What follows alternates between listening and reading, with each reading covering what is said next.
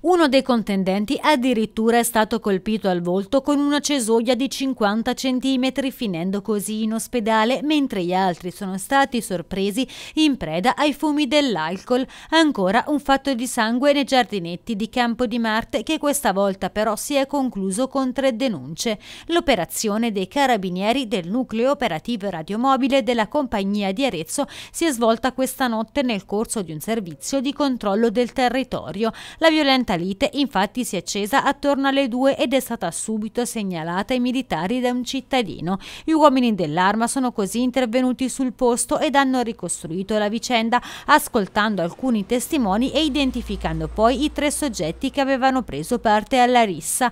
Uno di questi, risultato clandestino, è stato colpito violentemente al volto con una cesoia lunga oltre 50 cm, poi ritrovata nascosta tra i cespugli degli stessi giardini ed è stato trasferito trasferito al pronto soccorso dell'ospedale San Donato di Arezzo. Gli altri due invece erano in evidente stato di ebbrezza alcolica. Tutti e tre, già noti alle forze dell'ordine, sono stati quindi denunciati per il reato di rissa aggravata e due sanzionati per la manifesta ubriachezza in luogo pubblico.